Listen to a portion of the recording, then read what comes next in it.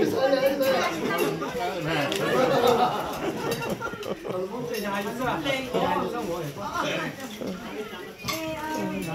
Với cha.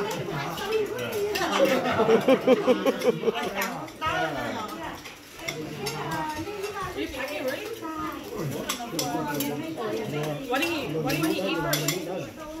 He had a leaf ừ. Hãy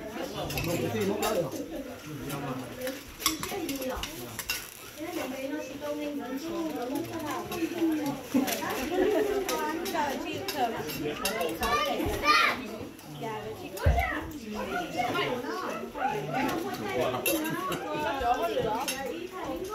Ghiền Mì Gõ